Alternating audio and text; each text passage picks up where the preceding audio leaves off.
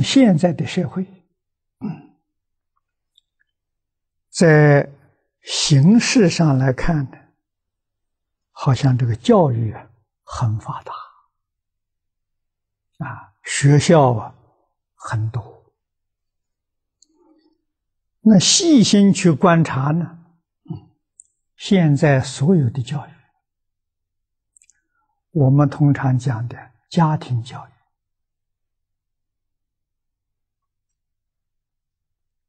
学校教育、社会教育，乃至于宗教教育，都不讲求智慧了啊，只讲求知识。诸位要知道，知识跟智慧也不一样啊，不相同。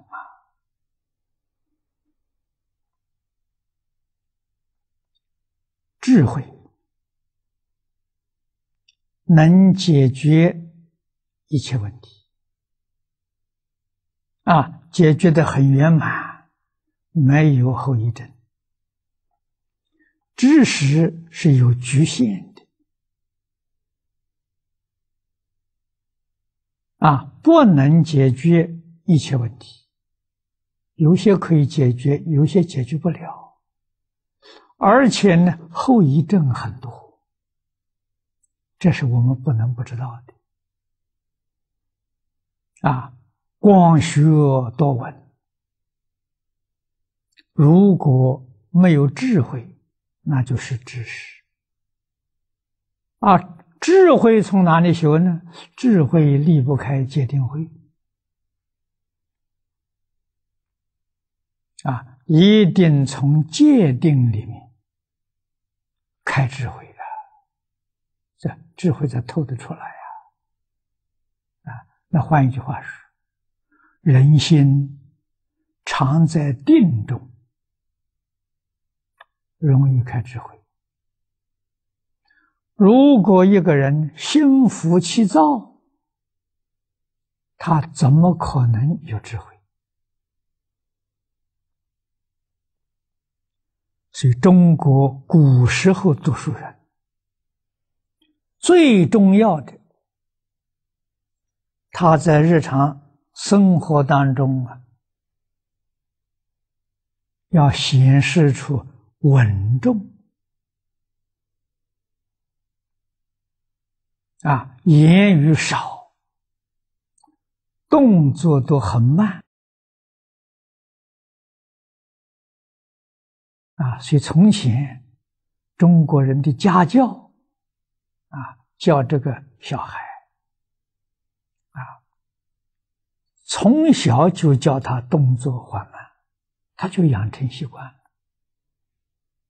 啊，很稳重，心很清净，很定，容易开智慧。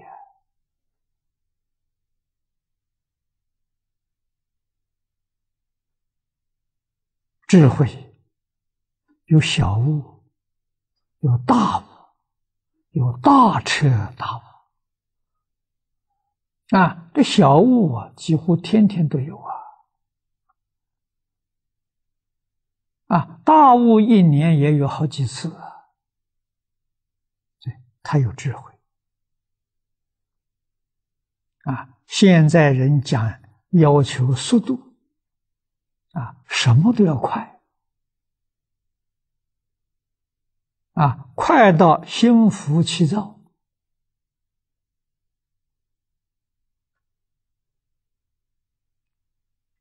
稳重没有了，当然智慧也就没有了。